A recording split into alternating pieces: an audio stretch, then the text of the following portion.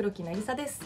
えー今回の黒木渚のひょっとこどっこいでは、えー私が考案しました文豪合コン大会について、えーお話をしております。今まで、えー教科書に載っている文豪たちとか私が親しんできた文豪たち女性歌人たちを集めてもしも合コンを開くならというテーマで妄想を繰り広げています。ぜひご覧ください。黒木渚のひょっとこどっこいお楽しみに。